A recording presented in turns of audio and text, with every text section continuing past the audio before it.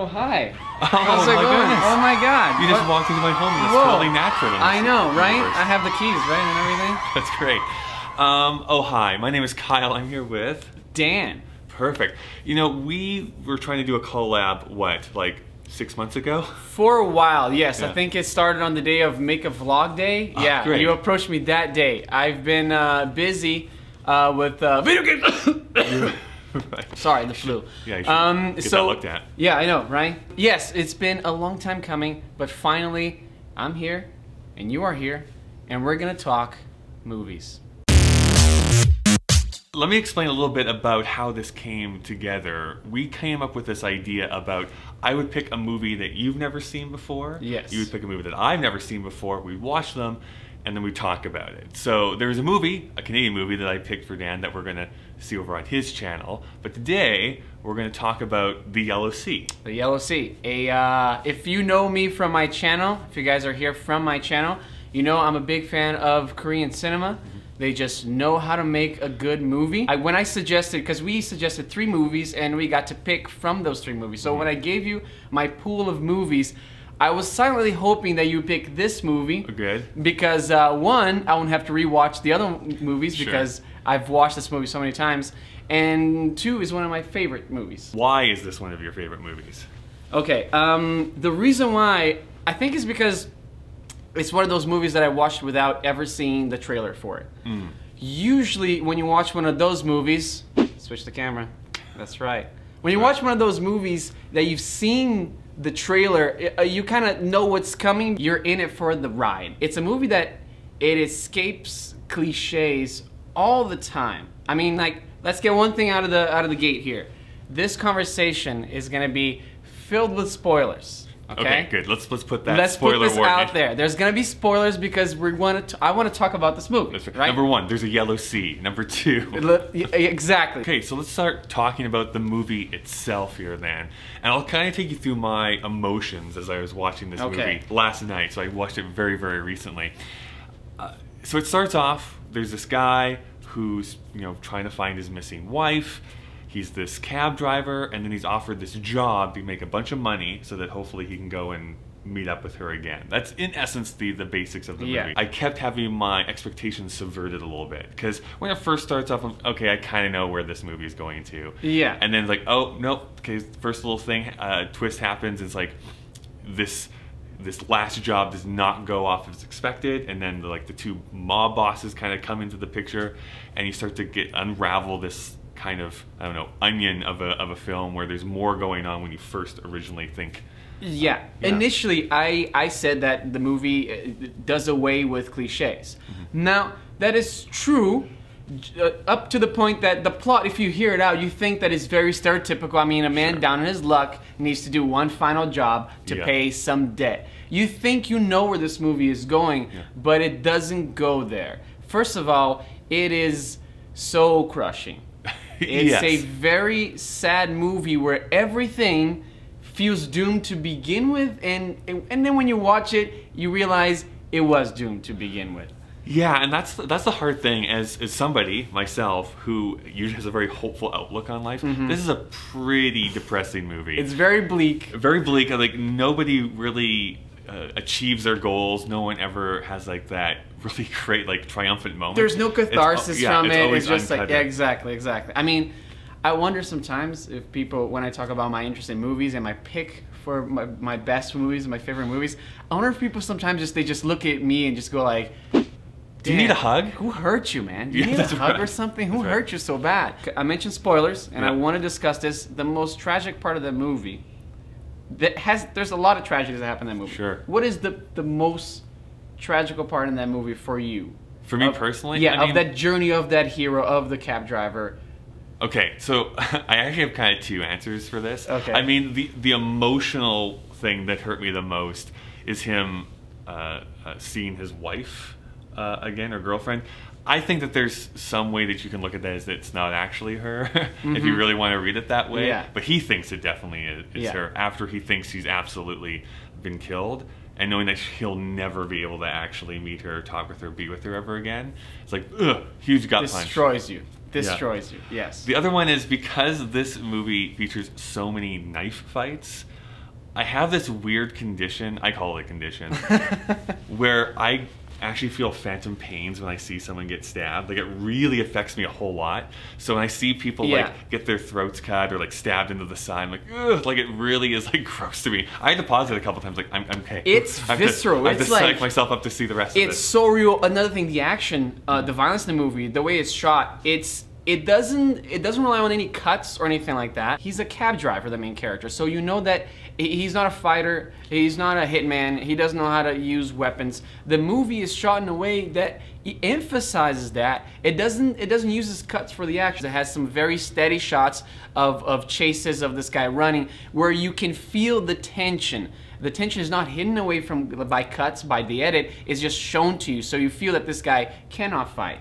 He, uh, he's just running for his life. It's not methodical. It's not pretty. The fights. They're just they're, they're Yeah. gruesome and brutal. Usually, you you watch a fight movie, you you walk out of that movie going like, I want to kind of get in the fight, you know? That's right. Just practice. But you watch this movie and you're like, whoa, dude. I, well, yeah, I know. I know we've been staying, sticking on this point for a while, but Sorry. one last thing to say about that is I, I agree. Like, if you look at the, and I love superhero films, but if you look at most modern superhero films, the fight scenes are very well choreographed. Hoorah! It's like a kind of stuff. dance. It's like a dance. This one, it feels like. Yeah, it, it's not easy to kill somebody. Like you have to do a lot of things to It actually takes kill a some person. time, yes. And they go into very specific detail about that to be like, yeah, I never want that to happen. Yes, That's- exactly. Looks, that looks disgusting. I tweeted you actually last night as I was watching it about like, oh, this is a really great pick that you had for me because he's waiting out there for his like last job to finish, and he's like, oh, there's people going to kill this guy already, and then kind of that's kind of like flips him into like this larger story that's going on, On and that that- was like that was the moment that flipped. There's like, oh, okay, so there's more that's happening to this movie.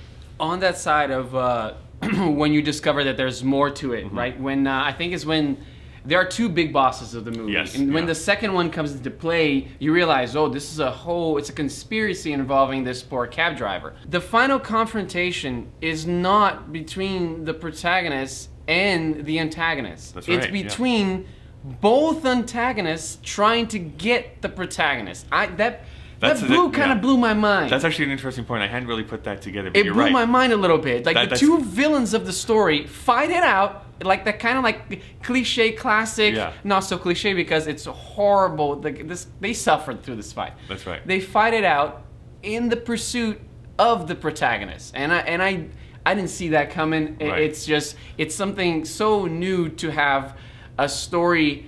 uh, Like kind of take place away from the protagonist when he's been part of that story for so Yeah. long. It, it felt new, yeah, refreshing. And he comes in there and it kind of tries to sweep up the pieces. and then suddenly can. just hey i guess the i guess the job is done here and it's it felt new and uh you don't i didn't see that coming at all I've, I, there's two kind of minor criticisms I can throw at this movie, Okay. which is, do you think there's any larger point to what this movie's trying to say? Not that there needs to be necessarily, but do you think this movie is trying to tell us something, or is it just supposed to be this? so like you're you're story? searching for like a theme as Yeah. in, like what this movie represents um i think it represents failure i Mm. mean changing like i mean you, you can tell that the character at the beginning of the movie is completely different than the one that that you end up. It's also the movie is also very kind of tarantino-esque that is divided by chapters Yeah, right? that's right. and uh, and you feel the change within the character each chapter.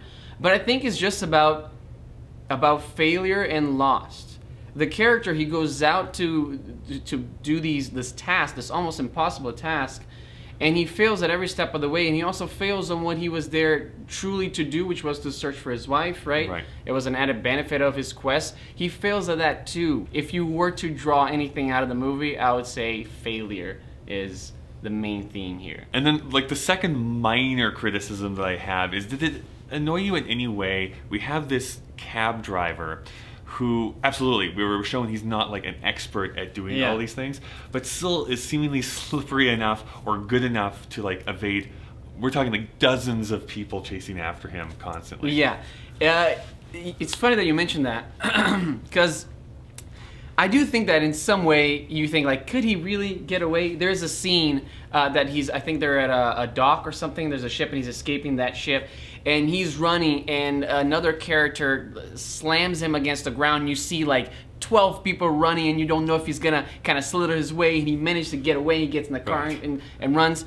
It, it, on certain it might it might seem unbelievable, but at the same time, like you mentioned before, it really shows how hard it is to kill somebody. To Sure, like yeah, yeah. to grab somebody, pin them to the ground, and then and then kill that person. You see that that person is fighting for their life, and it's not as simple as just like Boom. and then yeah. All I need is a hatchet, apparently, according to this movie. Yeah, and uh, lots of swings. It's That's- not one. It's not No, one it's not- swing, people. It's not one swing. You gotta, right. you gotta really just. Hashtag not one swing. Yeah, I don't know. I, I don't know why I should, you know. You should be tell- with I it, should, with it. I shouldn't be telling people that it requires multiple swings of a hatchet to kill Yeah. somebody. Yeah, I mean, overall, I really, really did love this movie a whole lot. Like you said, I'm there's glad. things, there's twists and turns that I wasn't expecting. I think that there are just really effective performances in the main roles that we have. You're gonna feel some things that you haven't felt in a while, and it's gonna make you wanna, you know, touch the wall in the shower and think about your life. Right. Just It's watch one of those movies. watch Old Boy. It's much. Not the American version. no, don't watch the American Yeah, version. because that's actually chipper. That's pretty chipper. So, thank you so much for coming over, Dan. Thanks for having me. If people wanted to keep in contact with you on the internet, how is that possible? Well? I do have a channel where I discuss films. I try to shoot my own little short films as well.